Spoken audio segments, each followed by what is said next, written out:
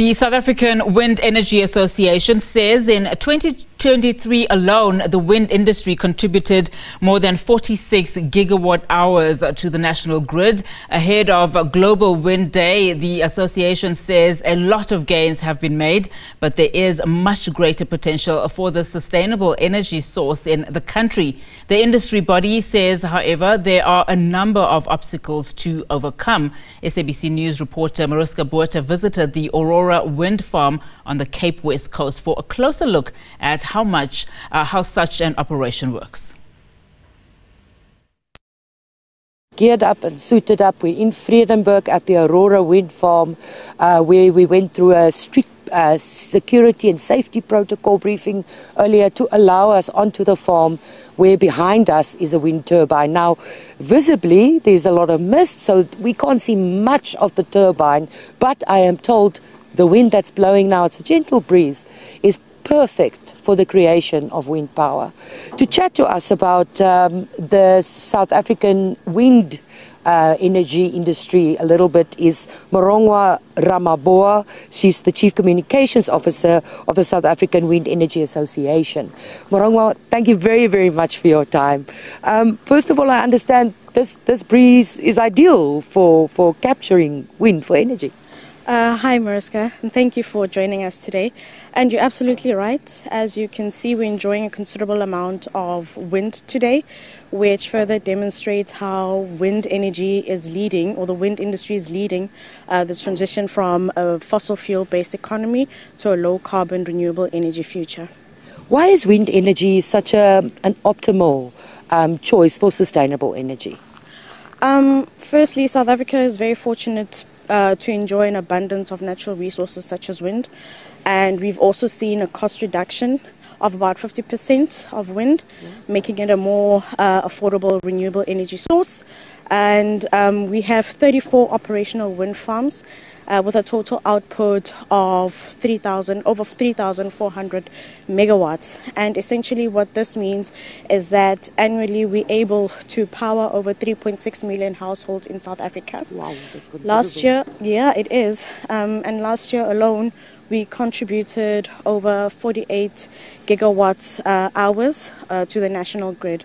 So really, this really drives a point home that wind energy is one of the leading renewable energy technologies that are helping to circumvent uh, load shedding. And based on um, the profile of wind, we are able to generate between 1,000 to 2,000 megawatts um, of capacity, which is almost equivalent to one to two stage between one and two stages of load shedding. Very impressive. So, how is it going with the wind industry in South Africa? Is it is it going well? Are there areas that where there's concerns, where there can be improvement? Uh, absolutely. Grid capacity remains one of our primary concerns and we think there'll be more grid, um, there'll be more wind available should there be capacity on the grid. So grid capacity is one of our major focus, which we continue to advocate for as an industry, yeah. uh, as well as policy certainty. So we're working quite closely with our stakeholders, especially government, uh, to ensure that we have a conducive wind market in South Africa and that the wind sector continues to thrive. Mm. And we do this through a number of initiatives, um, such as our energy drive, where we've partnered with with Eskom uh, in Mpumalanga, where we go around schools in those previously disadvantaged areas to actually introduce these renewable energy technologies. And today we are here in the Western Cape uh, to also shed light on what Aurora Wind Power is doing in this community that they operate from. Um, which then also emphasizes the point of taking the community with us yes. because we can't leave anyone behind in the just energy transition. Mm. Um, in terms of wind energy, this is the last question. How does it assist in, in job creation? That's one of the key factors with any industry. How does it assist in job creation?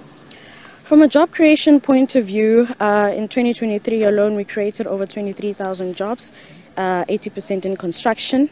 And we've also just heard that one of our hosts here, he started in the industry in 2007. So they really it demonstrates that there is sustainability and that there are multiple job opportunities that are available in the sector in any capacity and at any level. He started with no knowledge, and today he's able to climb up that wind turbine and give us a beautiful tour of what um, wind energy is all about and how much wind is contributing to this area and ultimately to the national grid. So, from a job uh, creation point of view, the wind sector is really, really determined and uh, deliberate in creating as many possibilities. As an association, we also have a wind industry internship program, which places young people across various um, well, uh, in the wind industry across uh, all our members so that they can get exposure uh, to what the wind sector is all about and the opportunities that it presents.